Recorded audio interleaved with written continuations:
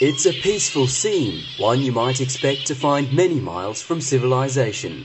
But these grey-headed flying foxes are waiting out the daylight hours, grooming and breeding in the suburb of Gordon at Ku-ring-gai Flying Fox Reserve, one of six colony sites in the Greater Sydney area. They've been attracted to the forested ravine for years, but it wasn't until 1983 that public pressure led to council purchasing two parcels of land to be dedicated to flying fox conservation.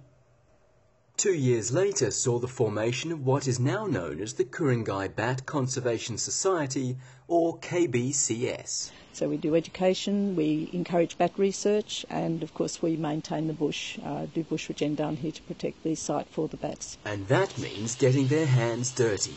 While it may look exotic and healthy, Many of the reserve's native trees are being choked by these invasive weeds, leaving little habitat for grey-headed flying foxes, which were listed by the Australian government as a threatened species in 2001. The KBCS has spent many hours, days and even years clearing these weeds and is now in the process of replanting suitable habitat.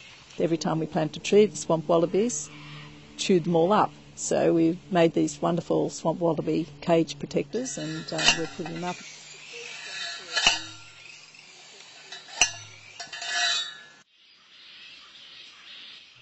Mina Basarova works for the Threatened Species Network, a partnership between WWF Australia and the Australian government. She has a keen interest in the grey-headed flying fox, giving public talks using non-releasable hand-raised bats such as Molly to demonstrate the species' social nature.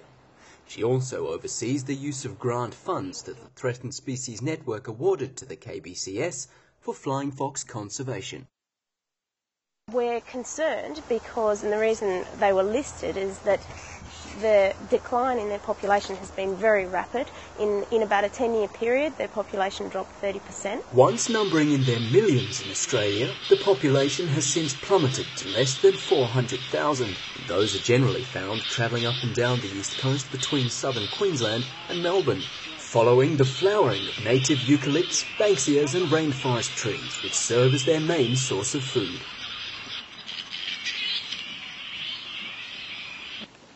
So what exactly have the funds enabled the group to do? Uh, the grants enabled us to buy, purchase the material to put up 200 swamp wallaby protection cages. So we're going through and planting in the open gap in the canopy and restoring, hopefully, suitable trees for the bats to roost into the future. It's the loss of this kind of habitat for roosting and feeding that's thought to be the main reason for their demise, but that's not the only injustice these peaceful creatures face. Urban conflict and even electrocution in developed areas add to their tale of woe. And this has highlighted an urgent need for further research into preferred habitats for the species. The Threatened Species Network grant is contributing to just that in the form of a Macquarie University honours thesis.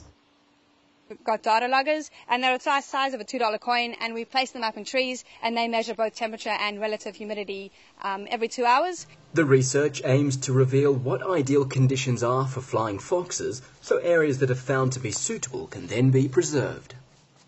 The first season of research is now complete and it's hoped it will continue over a three-year period producing baseline data to help shape future conservation plans. But for now, the colony site at Ku-ring-gai is safe and in good hands, thanks to the volunteers of the KBCS and to the Ku-ring-gai Council, with the generous support from the Threatened Species Network.